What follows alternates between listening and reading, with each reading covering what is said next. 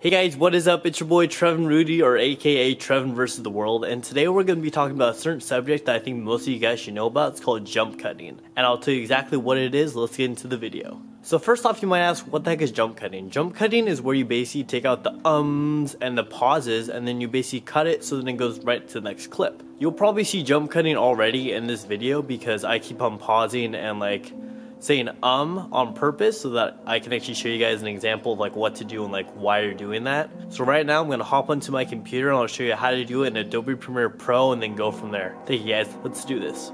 So the first thing that you want to do in Adobe Premiere Pro is going to basically import the footage. So the easiest way is just go to File, see right here, Import, or Control I if you want to, and then it'll just get you in here a lot easier.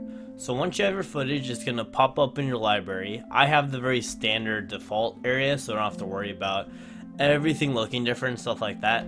So jump cutting, as I said before, is where you're going to get rid of those awkward pauses and those ums. And it's super easy to do that with the audio. So the only thing that you're going to do is you're going to hit Alt and you're going to zoom in so you can have an easier time watching the pause. So right there, that's super obvious that that needs to be cut out of it. So the first thing you're going to do is you're going to use your cut tool, which is going to be over here, or your razor tool. So all you have to do is be in this box. When it's that yellow highlight, you know you're in that box. So you're going to hit C. It's going to bring up this little guy. And then you're going to cut a little bit before it.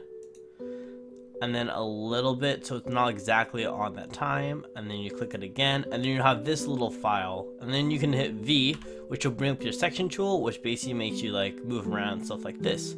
So then you're gonna take that footage right there and basically just delete. And then you're gonna bring this guy over so it jumps it.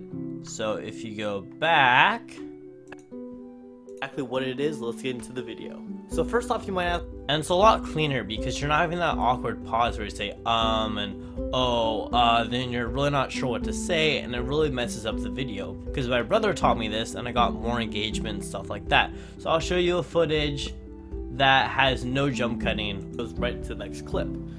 You'll probably see right there that I pause. Like some people put that in there and it's kind of like awkward. So all I have to do is you just have to take it out really quick and just jump cut it.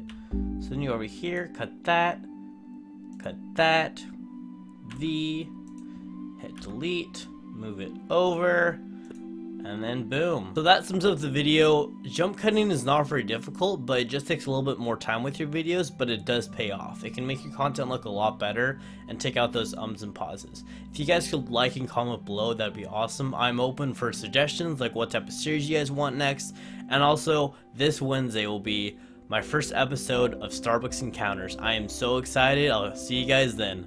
Peace.